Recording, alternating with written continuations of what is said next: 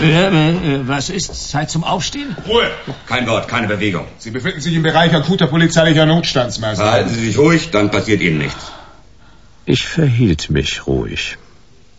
Das fällt mir nicht schwer, wenn sechs Typen mit Laserstrahlern auf mich zielen. Sechs Typen in schwarzen Kampfanzügen und schwarzen Schutzhelmen. Bei solchen Weckern kann ein sensibler Mensch schon das Flattern kriegen. Zum Glück bin ich nicht sensibel. Und außerdem Kummer gewohnt. Normalerweise weckt mich Sam. Aber ich war sauer. Judith war bei mir, ausnahmsweise.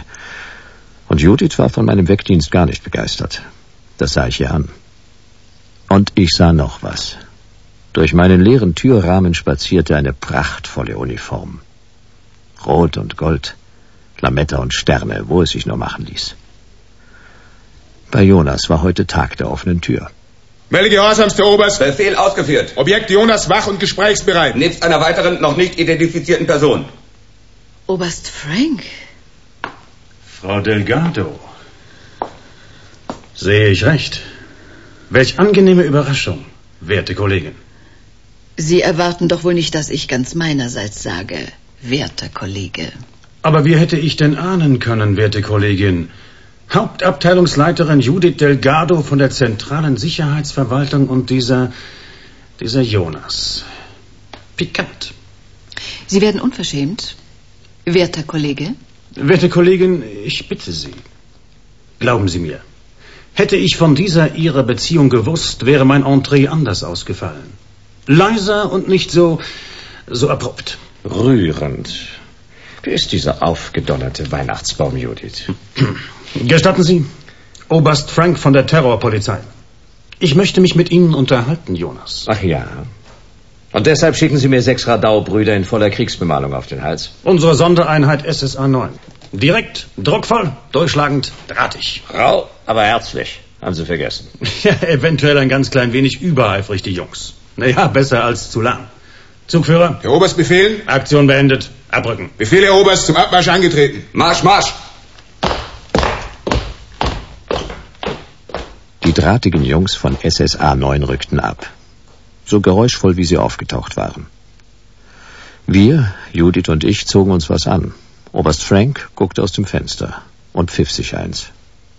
Ich war immer noch sauer und neugierig. Was wollte die Terrorpolizei von Jonas? Habe ich doch gesagt, Jonas.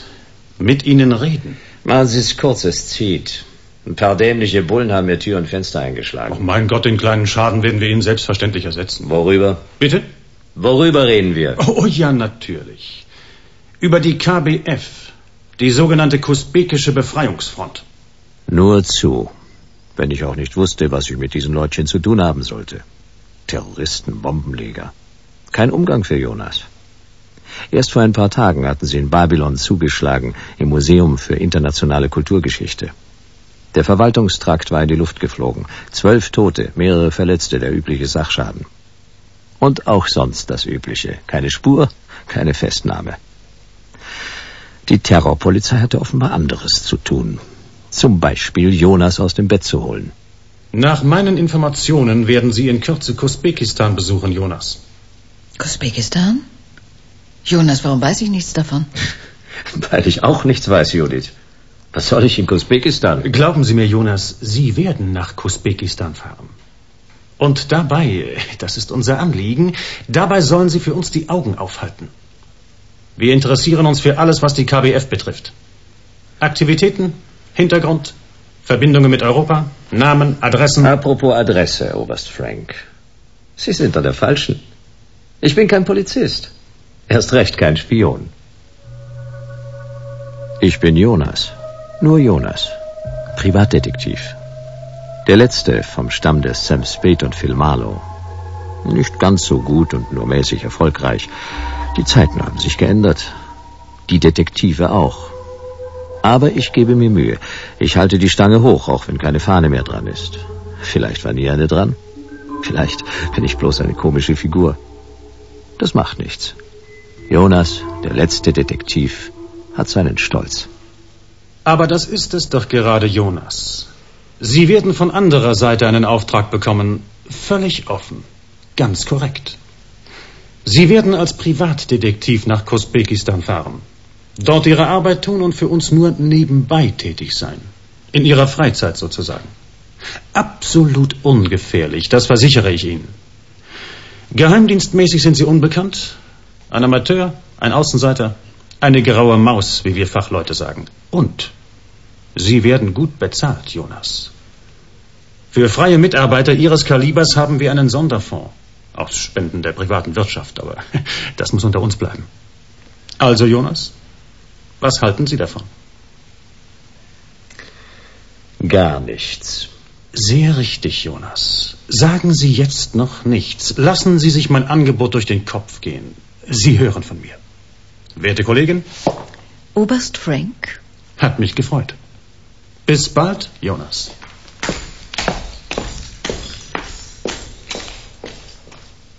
Usbekistan. Eine Reise in den sonnigen Süden.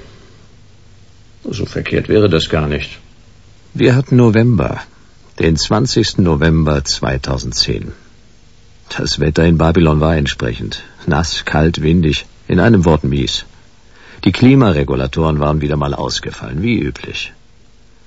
Und Usbekistan lag im Orient, da wo die Sonne scheint, wo es Palmen gibt und blaue Lagunen. Und giftige Schlangen und Sandstürme. Nicht zu vergessen Guerillas, Terror und Bürgerkrieg.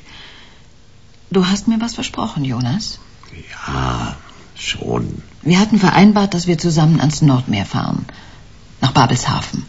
Da ist es ja noch kälter. Wollen wir nicht lieber nach Usbekistan? Danke. Usbekistan ist mir zu heiß. In jeder Beziehung. So schlimm wird's schon nicht sein.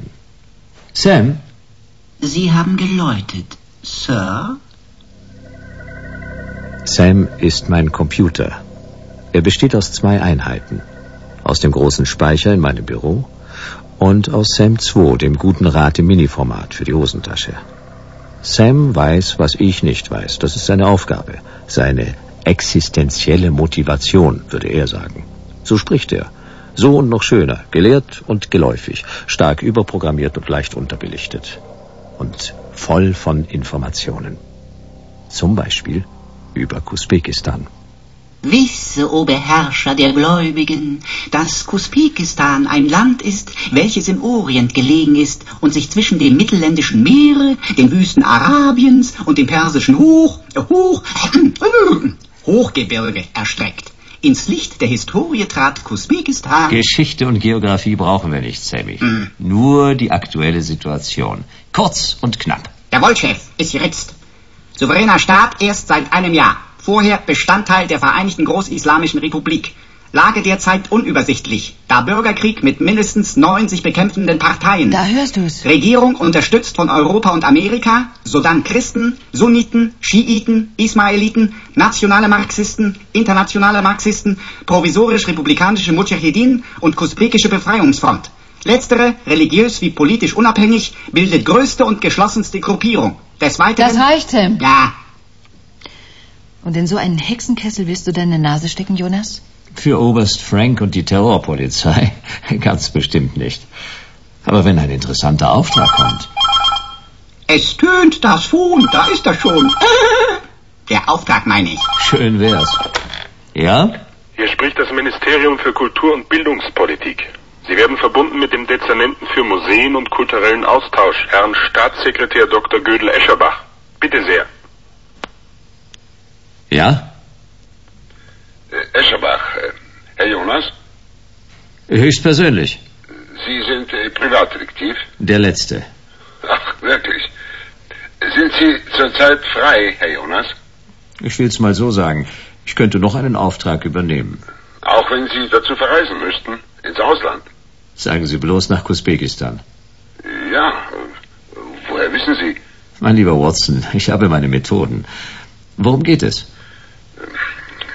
Am Phone möchte ich nicht darüber sprechen. Äh, Können Sie zu mir kommen ins Ministerium? Wann? Jetzt gleich, äh, wenn es möglich ist. Es war möglich.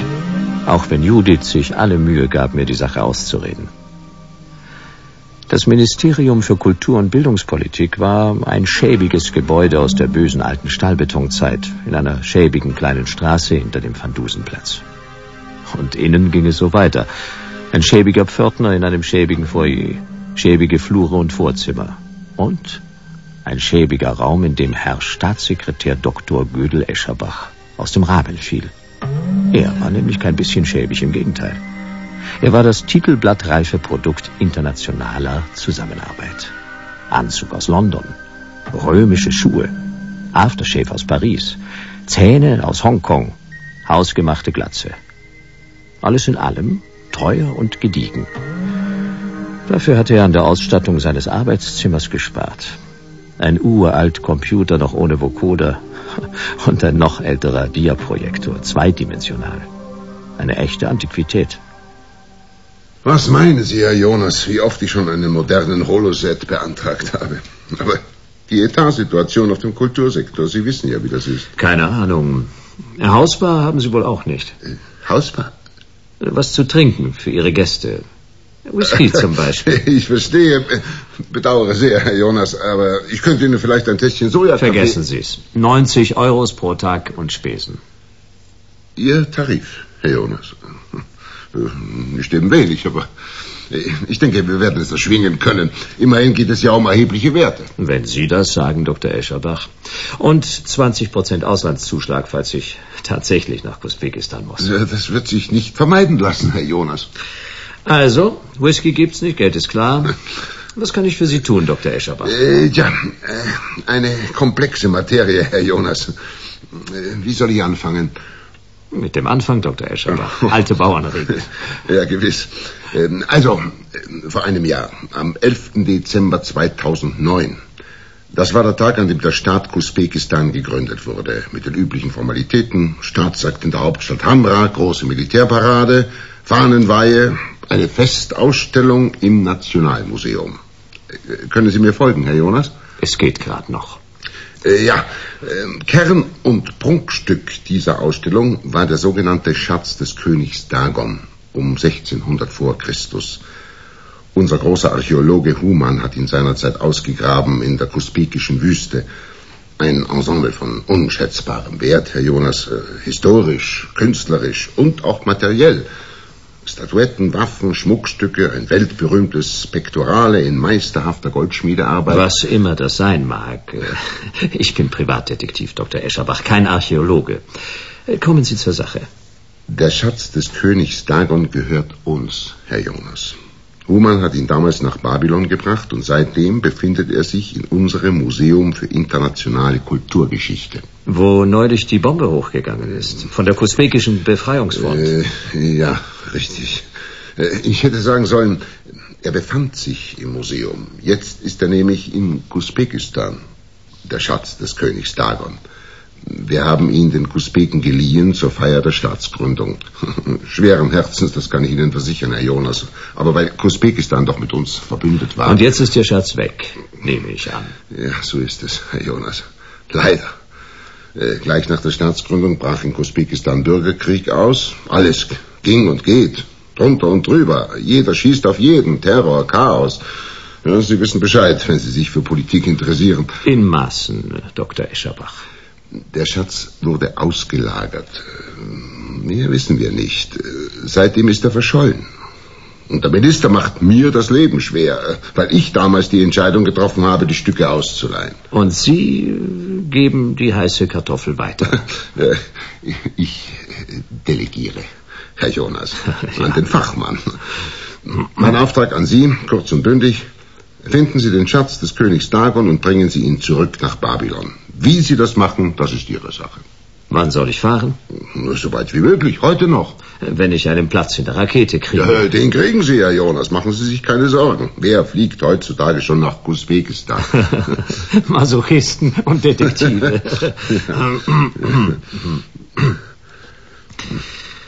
Warum kommen Sie erst jetzt zu mir, Dr. Escherbach? Ihr Schatz ist doch schon fast ein Jahr lang verschwunden. Und warum so hopp hopp? Ja, weil sich die Situation in den letzten Tagen zugespitzt hat. Wir haben eine Information bekommen aus bester Quelle. Ein Stück aus unserem Schatz ist auf dem schwarzen Kunstmarkt aufgetaucht und von einem amerikanischen Sammler erworben worden.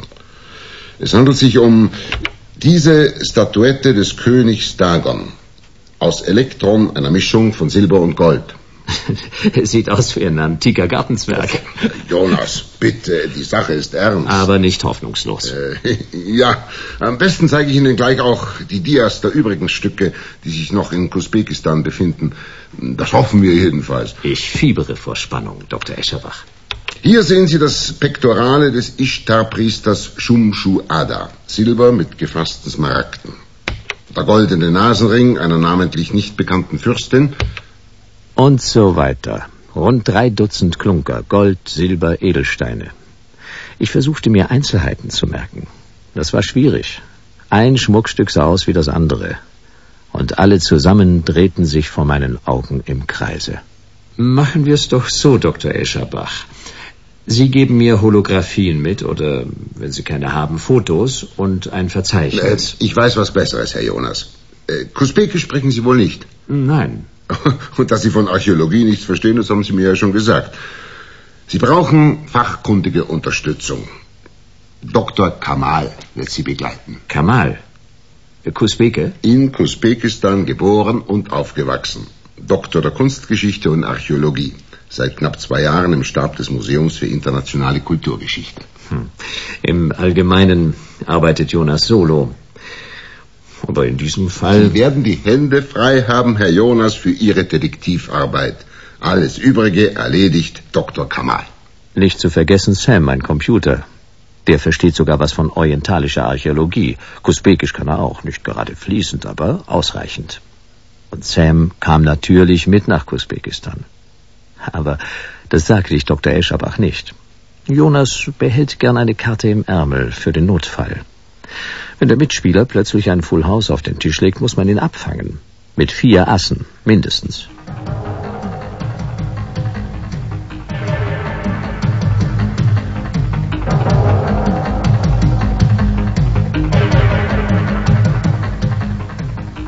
Die nächste Rakete nach Chamra ging am Abend. Dr. Kamal sollte mich vor der Eincheckschleuse treffen, war aber noch nicht da. Umso besser. Judith war zum Aerodrom mitgekommen. Und Judith hatte mir beim Abschied was zu sagen.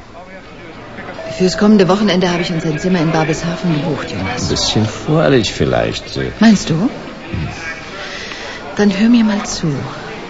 Wenn du nicht mitkommst, weil du einen Fall hast, weil du nicht da bist oder was weiß ich, dann fahre ich allein. Ich werde es schon irgendwie schaffen, Judith. Hoffentlich. In Zukunft fahre ich dann immer allein. Auf jeden Fall nicht mehr mit dir. Warum kommst du denn nicht mit nach Usbekistan? Das weißt du doch. Weil ich nicht so ohne weiteres von meinem Schreibtisch weg kann. Nimm dir Kurzurlaub und komm nach. Morgen. Herr oder? Jonas, Herr Jonas wird gebeten, sich zum Phone am nächsten Infoschalter zu bemühen. Herr Jonas, bitte. Ein alter Bekannter wollte mich sprechen. Oberst Frank von der Terrorpolizei. Schrecken der Kusbeken. Wecker und Prophet dazu. Ich habe es ja vorausgesagt, Jonas. Sie fahren nach Kusbekistan. Und? Und was? Mein Angebot. Was halten Sie jetzt davon? Dasselbe wie heute früh.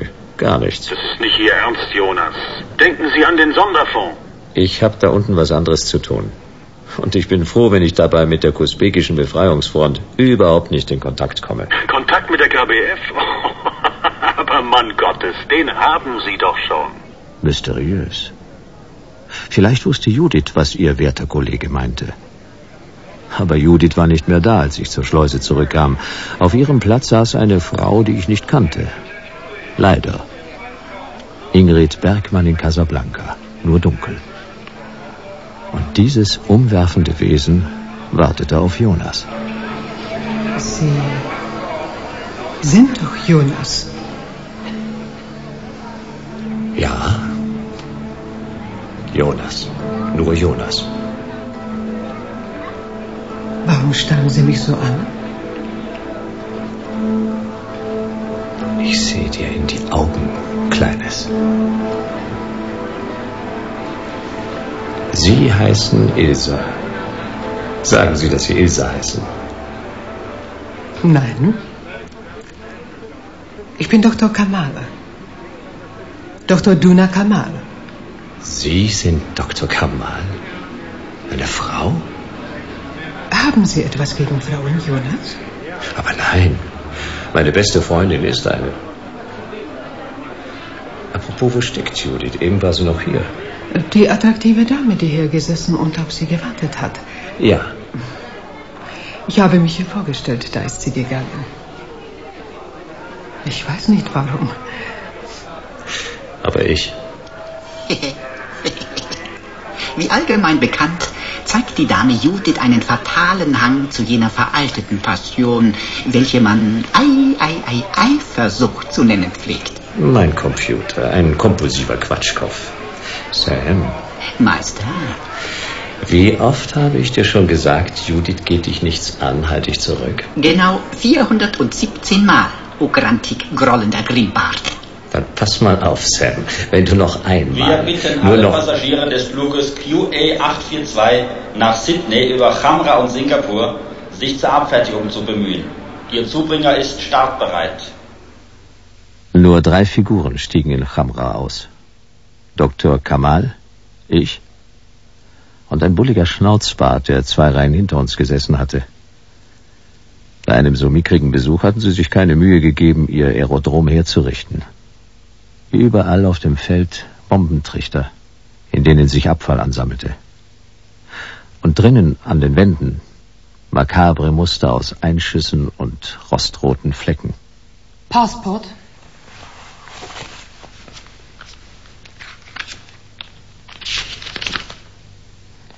Grund Ihres Aufenthalts in Usbekistan? Bildung, Kultur.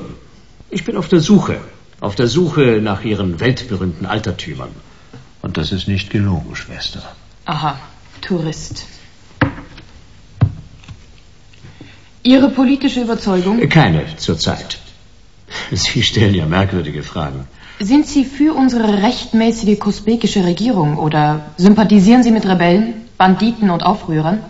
Auf welcher Seite stehen Sie? Auf der richtigen, immer auf der richtigen. So.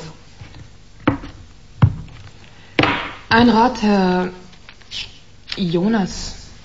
Bleiben Sie in Chamra. Außerhalb unserer Hauptstadt können wir für Ihre Sicherheit nicht garantieren.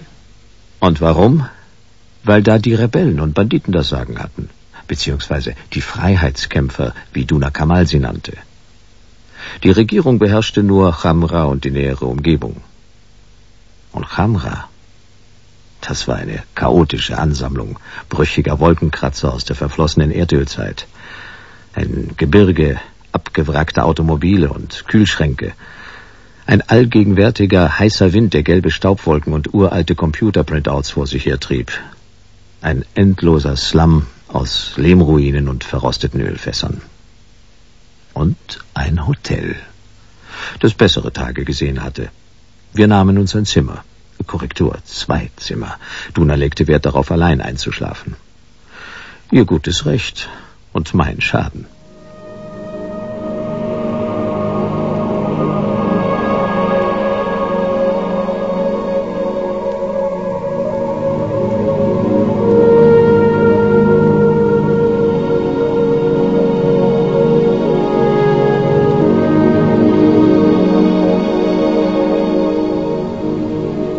Am nächsten Morgen besuchten wir Professor Malek. Das hatte mir Escherbach geraten. Malek war der Leiter des Kusbekischen Nationalmuseums, offiziell. In Wahrheit hatte er nichts mehr zu leiten. Das Museum war dicht. Das schien Malek allerdings wenig zu stören. Er hatte so vieles andere. Ein wunderschönes großes Haus im prominenten Ghetto, einen Swimmingpool, einen Leibwächter, der unauffällig im Hintergrund aufging. Außerdem hatte er einen guten Whisky und keine Ahnung. So gern ich Ihnen gefällig wäre, Dr. Kamal, Herr Jonas und natürlich vor allem meinem guten Freund Dr. Escherbach, ich kann Ihnen nicht weiterhelfen. Anfang des Jahres musste mein Museum schließen. Die wertvolleren Ausstellungsstücke wurden aus der Stadt gebracht, ausgelagert, auch der Schatz des Dagon. Wohin, Professor? wenn ich das wüsste, meine Liebe. Haben Sie denn äh, keine Unterlagen? Äh, Verwaltungsnotizen, Frachtbriefe. Wir sind keine Wilden, Herr Jonas. Zweifellos hat es derartige Dokumente gegeben. Doch wo Sie sich zurzeit befinden, falls sie überhaupt noch existieren. Also verschwunden. So ist es, Herr Jonas. Die Dokumente und der Schatz des Königs Dagon. Ich bitte Sie, Herr Jonas, versuchen Sie, sich die Situation vorzustellen. Straßenkämpfe, Panzer und Geschütze, Raketen, Laserstrahler, Maschinengewehre, unbeschreiblicher Lärm, Qualm, Rauch, Feuer. Wer denkt dabei an Formalitäten? Ich war froh, dass die Kunstwerke, für die ich Verantwortung trug, aus der Kampfzone geschafft werden konnten. Aus der Stadt hinaus, aufs Land. Wohin genau? Das war nicht wichtig. Und unter uns, Herr Jonas, das spielt auch heute keine Rolle. Denn gesetzt, Sie wüssten den Ort, Herr Jonas, so könnten Sie ihn doch nicht aufsuchen, falls Sie nicht der Befreiungsfront oder ähnlichen Mörderbanden in die Hände fallen wollen. Oh, es bleibt abzuwarten, Professor. Äh, vielleicht sollte ich mich mal im Museum nach Hinweisen umsehen. Sinnlos, Herr Jonas, völlig sinnlos. Ein leeres Gebäude, weiter nichts. Ich gebe Ihnen einen guten Rat. Gehen Sie zurück in Ihr Hotel, Herr Jonas. Machen Sie sich ein paar schöne Tage. Dr. Kamal wird Ihnen gern die Sehenswürdigkeiten unserer interessanten Stadt zeigen. Und wenn ich etwas für Sie tun kann, finanziell oder auf andere Weise, zögern Sie nicht, sich an mich zu wenden. Ich habe gewisse Verbindungen, ich werde mich umhören. Und sobald ich über den Schatz des Dagon etwas erfahre, werde ich es Sie wissen lassen. Und äh, wenn nicht, Professor? Dann kehren Sie zurück nach Babylon, Herr Jonas, mit gutem Gewissen. Sie haben das Menschenmögliche getan. Inshallah, wie wir hier sagen. Jonas sagt nicht Inshallah. Jonas gibt nicht so leicht auf. Und Jonas denkt sich sein Teil. Am Nachmittag ließ ich mich von Duna durch Chamra führen. Ein gemischtes Vergnügen. Chamra war hässlich, Duna war schön, wie immer. Aber nicht ganz bei der Sache. Und dies ist der Platz des glorreichen 11. Dezember, so genannt nach dem Datum der feierlichen Gründung unseres großen Staates. Äh, die rechte Seite. Ist genauso langweilig wie die linke. Bringen Sie mich zum Nationalmuseum, Duna. Obwohl Professor Malek Ihnen abgeraten hat? Das ist nun mal meine innervierende Art. Wie Sie meinen, Jonas. Sehr begeistert scheinen Sie nicht zu sein. Und auch nicht gerade hilfreich, was unsere Aufgabe betrifft. Weder Sie noch Professor Malek. Wollen Sie den Grund wissen, Jonas? Ich bitte darum. Wir sind Kusbeken. Der Schatz des Dagon gehörte uns. Vor mehr als einem Jahrhundert hat man ihn uns gestohlen. Und jetzt sind Sie gekommen, um ihn uns zum zweiten Mal wegzunehmen. Ganz Unrecht haben Sie nicht, Duna. Drehen Sie sich nicht um. Was ist? Wir werden verfolgt. Maleks Leibwächter. Und hinter ihm... Der Schnauzbart aus unserer Rakete. Ich habe ihn vorhin schon gesehen. Kommen Sie, Jonas. Wir wollen versuchen, beide abzuhängen. Hier. Rechts in die Passage. Und dann durch den Zug. Wir rannten. Wir schlugen Haken. Wir liefen Treppen rauf und runter. Wir schoben uns durch enge Basargassen eine halbe Stunde lang. Dann standen wir vor der gewaltigen Ruine, die das Kusbekische Nationalmuseum gewesen war. Sie sah aus wie das Aerodrom, nur schlimmer. Die Fenster waren mit Brettern vernagelt, die Türen auch, bis auf eine, eine kleine an der Seite, unter einer Freitreppe. Vermutlich der alte Lieferanteneingang. Nicht abgeschlossen. Dann treten wir doch näher.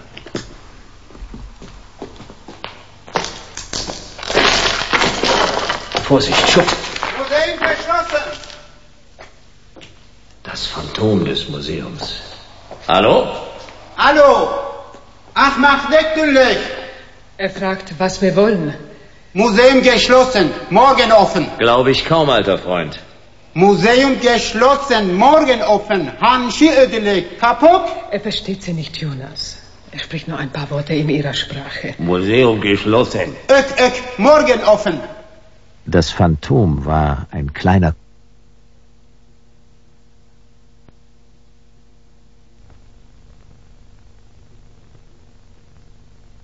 offensichtlich ein Museumswärter, der hier die Stellung gehalten hatte, als alles in Scherben fiel.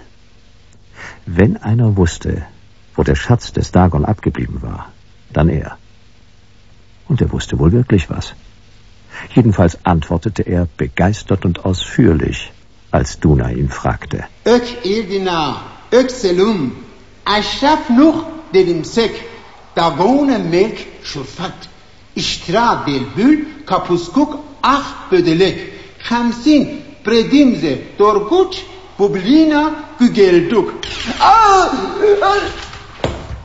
Da ist er an der Tür. Maleks Leibwächter. In Deckung, Duna. Noch einer. Hier muss ein Nest sein. Der Schnauzbart aus der Rakete. Gehen Sie aus dem Weg, Jonas. Wie die zehn kleinen Negerlein.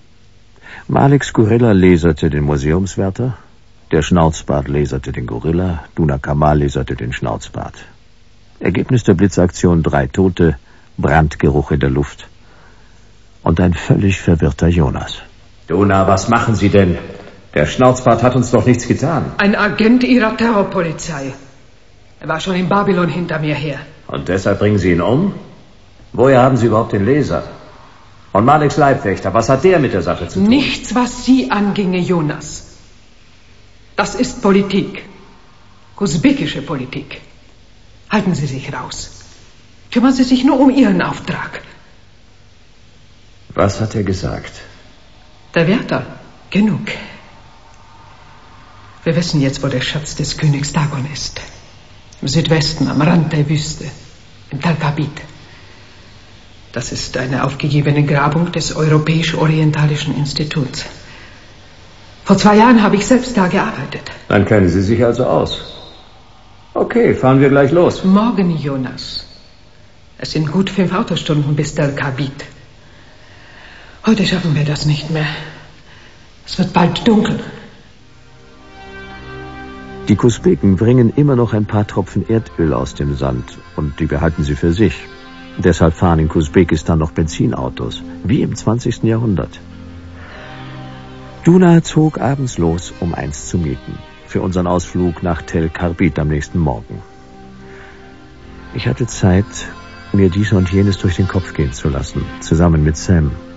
Den hatte ich im Lauf des Tages bei mir gehabt, eingeschaltet, und Sam brachte ein neues, undurchsichtiges Element in die Debatte.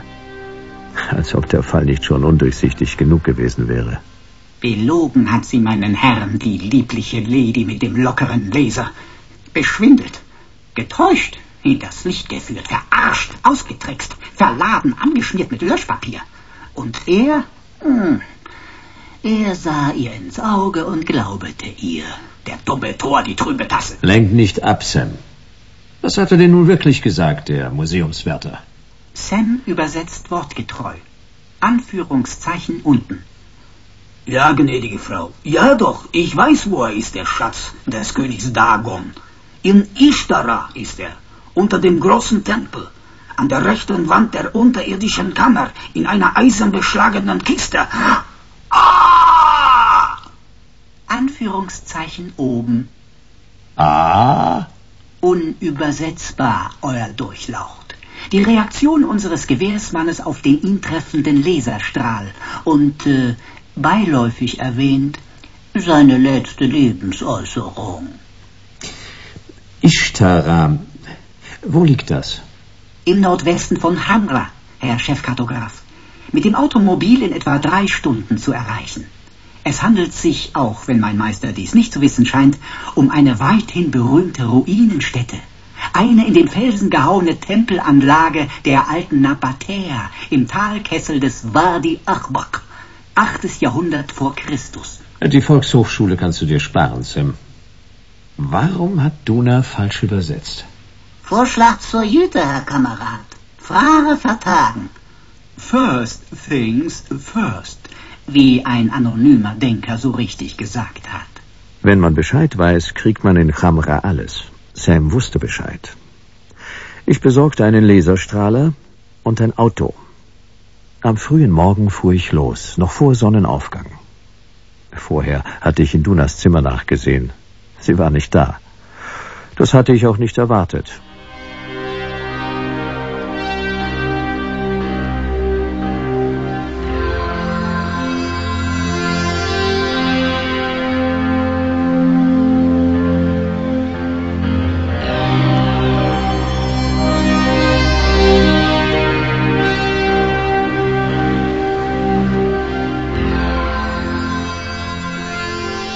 Unterwegs begegnete mir eine Beduinenkarawane. Erst eine Staubwolke am Horizont. Und dann zogen sie an meinem alten Citroën vorbei. Cadillacs, Chevrolets, Land Rovers. Sogar ein Mercedes. Ein romantisches Bild. Usbekistan war Jahrzehnte zurück. Eine nostalgische Enklave. Insofern hatte ich gar nichts gegen meine Tour. Schließlich bin ich Nostalgiker. Aber ich war gewarnt. Ich hatte meine Erfahrungen. Costa Guana, das Niemandsland. Zu viel Nostalgie ist ungesund. Manchmal sogar tödlich. Achtung! Wadi Ahmak, direkt voraus! Und wo ist jetzt dieses Ishtara? Na, wo schon? Unten im Wadi natürlich. Lass die Karre stehen, steig aus. Muss ich klettern? Wirst nicht drumrum kommen. Oh, du Ass aller Alpinisten. Und vorher wird marschiert. Zu Fuß, auf Schusters Rappen. Perpedes Apostolorum. Ein Lied. Zwei, drei, vier.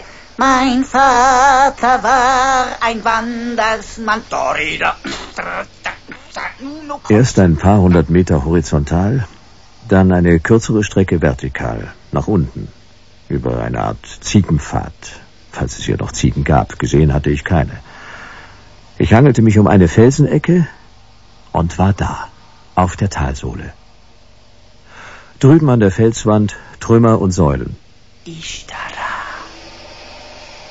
Ganz schön kaputt. Sam, da steht ein Auto. Links neben dem Säulenkomplex. Der große Tempel, von welchem der Wärter uns kündete. Duna. Und vermutlich nicht allein. Sie wohl einen Wächter aufgestellt haben? Sie hatten. Aber das merkte ich erst, als es zu spät war. Als ich von hinten was über den Schädel kriegte und mich ins Geröll legte, um ein bisschen zu träumen. Von Helden, Lobbebären, von großer Arbeit. Von König Dagon und seinem Schatz. Von Dr. Escherbach, von Oberst Frank und seiner SSA 9. Von Professor Malek nebst Leibwächter. Von Judith und von Duna Kamal. Vor allem von Duna Kamal. Ich sah sie ganz deutlich.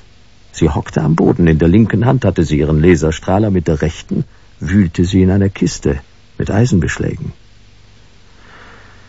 Ich lag in einer Felsenkammer, an den Wänden Malereien in verblassten Farben. Löwen mit Flügeln, Stiere, seltsam angezogene Menschen, dazwischen Krakeleien, Keilschrift oder Hieroglyphen. Vor den Wänden drei unfreundlich wirkende Gestalten mit alten Maschinenpistolen und Taschenlampen. Und Duna. Und die Kiste. Und in der Kiste der Schatz des Königs Dagon. Sie irren sich, Jonas. Das ist nicht der Schatz. Erzählen Sie mir keine Märchen, Duna. Ich kenne die Stücke. Dr. Escherbach hat sie mir im Dia gezeigt. Der Nasenring, die Jadekette, das Pektorale oder wie das heißt. Kopien, Jonas. Fälschungen. Sie machen mir doch schon wieder was vor, Duna.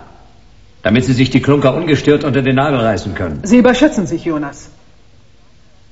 Wenn ich mir den Schatz, wie Sie sagen, unter den Nagel reißen wollte, könnten Sie mich nicht dran hindern. Ein kurzer Druck auf den Abzug. Oder ein Wort. Zu Amin, zu Reza oder Morashi. Und Sie wären tot, Jonas. Da ist was dran. Moment mal. Der Gartenzwerg hier, Porträtstatuette des Dagon. der dürfte gar nicht hier sein. Nach Dr. Escherbach ist er bei einem Sammler in Amerika. Passen Sie auf, Jonas. Vorsicht! Das war knapp. Keine Angst. Ich kann mit einem Leser umgehen. Habe ich gemerkt. Heben Sie die Figur auf, Jonas. Sehen Sie sich den Einschnitt des Laserstrahls an. Außen ein dünner Überzug von Gold und Silber. Und innen, Blei oder sowas ähnliches. bitte, eine Fälschung.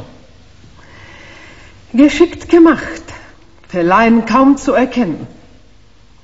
Aber doch eine Fälschung.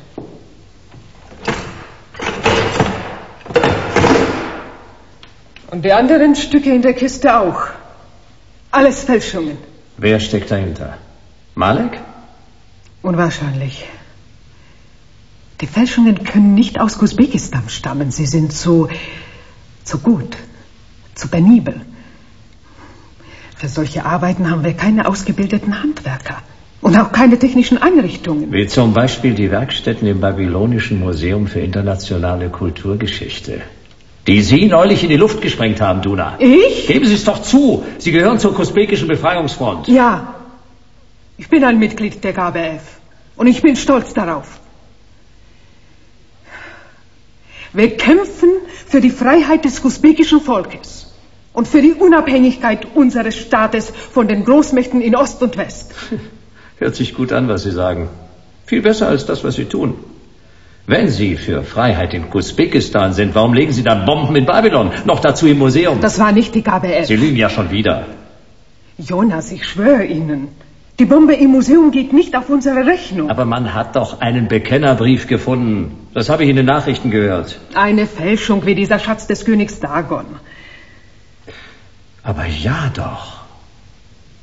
Duna, ich habe eine Idee. Wenn Professor Malek mit dem falschen Schatz nichts zu tun hat, Das habe ich nicht gesagt. Malek muss die Stücke hier als Fälschungen erkannt haben. Ein Experte sieht das auf den ersten Blick. Und Malek ist Experte. Wie ich oder wie Dr. Escherbach. trotzdem hat er den falschen Schatz in seinem Museum ausgestellt. Warum?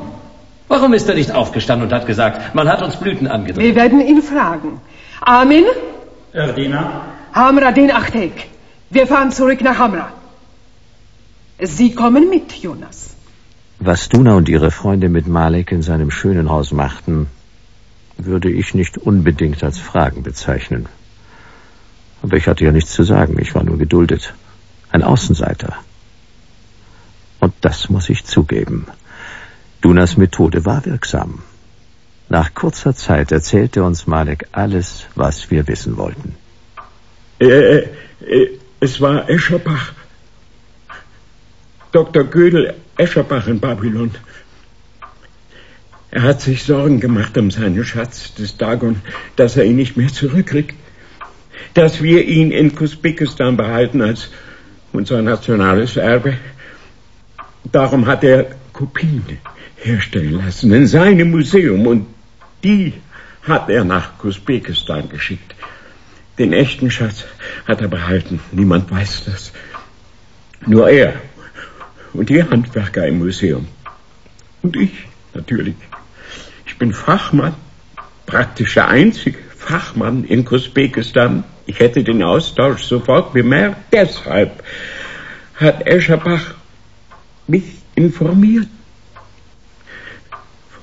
Von Museumsleiter zu Museumsleiter. Ich hatte Verständnis für seine Lage und blieb still. Verräter! Weiter!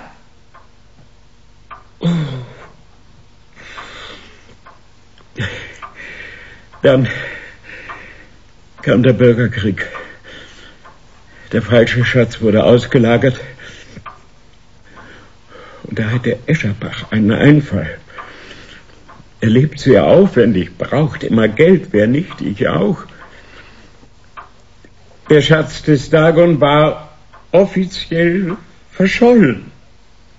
Escherbach wollte abwarten, ein halbes Jahr, ein Jahr, bis der Staub sich gelegt hatte, und dann wollte er anfangen, die echten Stücke zu verkaufen. In Amerika. Auf dem schwarzen Kunstmarkt, eins nach dem anderen. Vorher musste er natürlich die Mitwisser ausschalten. Die Bombe im Museum. Nein, nein, davon weiß ich nichts. Aber wir wissen. Wir wissen, wer dahinter steckt und wer versucht hat, die Sache uns in die Schuhe zu schieben. Weiter, Malek. Was geschah mit Ihnen? Sie waren doch auch Mitwisser. Wir haben uns geeinigt. Herr Schabach und ich. Ich habe mitgemacht. Bei Gelegenheit sollte ich die Kopien endgültig verschwinden lassen und alle Nachforschungen blockieren. Das heißt Jonas abwimmeln. Oder umbringen lassen, wenn es nicht anders ging. Escherbach musste was unternehmen. Der Minister hat darauf bestanden. Deshalb hat er Sie angeheuert, Jonas, und mich angerufen. Für alle Fälle, dass Sie den Schatz finden. Ich meine, die Kopien. Damit hat Escherbach ohnehin nicht gerechnet. Wie sich der Mensch doch irren kann. Was hat Escherbach Ihnen versprochen, Malek? Uh, 30 Prozent. Ich wollte eigentlich die Hälfte, aber... Hm, und bekommen habe ich noch gar nichts. Nicht einen Dinar. Wir sind großzügiger, Malek. Wir geben Ihnen gern, was Ihnen zusteht. Amin? Kapok! Kurz darauf schwamm Professor Malek in seinem Swimmingpool. Den Kopf nach unten und tot. Damit war der Fall allerdings noch nicht zu Ende. Okay, zum größten Teil war er gelöst und abgeschlossen, aber es blieb doch noch die eine oder andere Unklarheit. Zum Beispiel? Zum Beispiel Ihre Rolle, Duna. Escherbach hat darauf bestanden, dass Sie mich begleiten. Warum? Das war doch widersinnig. Sie sind Archäologin. Sie hätten die Fälschungen sofort als Fälschungen erkannt. Das musste ihm klar sein. Und noch was. Die Terrorpolizei war mir schon in Babylon auf der Spur. Sie wusste, dass ich zu KBF gehöre. Trotzdem hat sie mich nach Usbekistan ausreisen lassen. Warum? Und was wollte Oberst Frank? Gestatten die erhabenen menschlichen Herrschaften, dass ein armseliger kleiner Computer sich in die Diskussion hineinmenge? Seit wann fragst du, Sammy? Aber Sir, man hat doch Kinderstube. Ganz was Neues. Okay, Sammy, meng dich hinein. Ergebensten Dank. Ich menge mich, Herr Vorsitzender. Sam hat sich erlaubt, nach einer Verbindung zwischen Herrn Staatssekretär Dr. Gödel Escherbach und Herrn Oberst Frank von der Terrorpolizei zu forschen. Und siehe da, wie schnell ward er doch fündig. Was hast du entdeckt, Sam? Und wo? Im Katasteramt von Babylon, Herr Liegenschaftsinspizient. Beide Herren sind Nachbarn. Sie bewohnen zwei nebeneinander liegende Reihenhäuslein, ergehen sich im gemeinsamen Gärtelein, 30 Quadratmeter englischer Rasen aus wetterbeständigem Plastik und wie aus zahlreichen Hinweisen hervorgeht, sind sie überhaupt recht gute Freunde. Bitte. Das ist die Erklärung. Von Frank hat Escherbach erfahren, dass seine Mitarbeiterin Dr. Kamal zur KWF gehört. Und deshalb hat er sie mir mitgegeben. Natürlich nicht, damit wir zusammen den Schatz finden, im Gegenteil. Er wusste, falls Gefahr bestand, dass ich dem Schatz, dem falschen Schatz, zu nahe kam, würde Duna mich umbringen. Weil ich in ihren patriotischen Augen ein Räuber war, ein Feind des kusbekischen Volkes, der nationale Kunstschätze nach Babylon verschleppen wollte. Das haben Sie doch gedacht, Duna, oder? Selbstverständlich. Bis heute Nachmittag. Da sah auf einmal alles anders aus. Und Sie brauchten Jonas nicht mehr umzubringen. Gern hätte ich es nicht getan, Jonas. Glauben Sie mir. Ich bin gerührt. Sie waren ja sowieso nur die Rückversicherung. Die Notbremse, falls Malek nicht spurte. Sagen wir es doch anders. Charmant, reizvoll, mythologisch verspielt. Frau Dr. Kamal erfüllte die hochinteressante Funktion einer trojanischen Stute. Äußerst charmant. Sam meinte doch bloß. Hör auf zu meinen, Sam, sei still. Typisch. Kein Dank. Keine Anerkennung. Nicht einmal ein freundliches Wort. Wofür schindet man sich ab bis aufs Blut? Wofür kriecht man in die schmutzigsten Datenbänke? Wofür kratzt man die abseitigsten Informationen zusammen? Wofür, wofür, oh Mensch, wofür? Ruhe! Ja. Nächste Frage. Oberst Frank und die Terrorpolizei. Warum haben Sie das Spiel des Dr. Escherbach unterstützt und mich aus dem Land gelassen? Ganz einfach. Durch sie wollte Frank an die KBF rankommen, an ihre interne Organisation, ihre Basis in Usbekistan. Frank hatte sie an der langen Leine Duna. Zuerst war Jonas als ihr Aufpasser vorgesehen. Ach ja? Aber Jonas hat sich geweigert. Gut für Jonas. Und schlecht für den Schnauzbart, der für Jonas nachgerückt ist. Das war's, Duna. Alles klar? Bis auf eins. Mike hat seinen Anteil. 30 Prozent. 70 Prozent sind noch offen. Dr. Escherbach. Was geschieht mit ihm? Überlassen Sie das uns, Jonas. Wir werden ihn auszahlen. Wenn Sie wieder in Babylon sind. Sie lassen mich zurück? Warum denn nicht? Es sei denn, Sie wollen bei uns bleiben und uns helfen in unserem gerechten Kampf für das usbekische Volk. Wissen Sie, Duna, gegen Sie habe ich nichts. Und auch nichts gegen das usbekische Volk. Für Freiheit und Unabhängigkeit bin ich auch. Unabhängigkeit für Jonas. Darum hält Jonas sich raus und fliegt zurück nach Babylon. Wenn Sie also zurück sind, Jonas, rufen Sie doch der Escherbach an. Sagen wir morgen Nachmittag, fünf Minuten vor vier? Warum? Das werden Sie merken. Wann fliegen Sie? Ich dachte heute Abend. Warum nicht morgen früh? Wir beide haben uns ja noch gar nicht richtig kennengelernt. Das Wetter in Babylon war immer noch mies. Ich schlief ein paar Stunden. Und dann rief ich Dr. Escherbach an. Fünf vor vier, wie mit Duna verabredet. Jonas ist wieder da, sagte ich ihm. So. Wie war's in Usbekistan? Warm und sonnig? Eher trocken und heiß. Und tödlich. Ach, für Sie doch wohl nicht, Jonas. Aber für Ihren Freund Professor Malek. Unter anderem. Oh. Und der Schatz des Königs Dagon? Das wissen Sie doch. Was soll das heißen? Der Schatz ist hier. Der echte Schatz. In Babylon. Bei Ihnen, Dr. Escherbach. Soweit Sie nicht schon verhökert haben.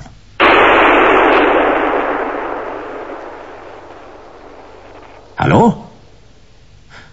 Dr. Escherbach?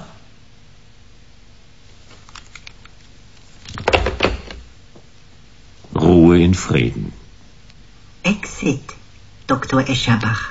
Oder auch Abtritt. Das treffende Wort, Sammy. Sam kennt noch eins, Erhabenheit. Den Wahlspruch des großen Shogun und einiger Japans Ieyasu Tokugawa. Und was sagt dieser ihr Dingsbums? Er sagt, alle Menschen sind Graunel und morgen wird es regnen. Korrektur. Alle Menschen sind Gauner und morgen wird es regnen. Heute regnet's auch, Sammy. Ja. Die Klimaregulatoren sind immer noch kaputt.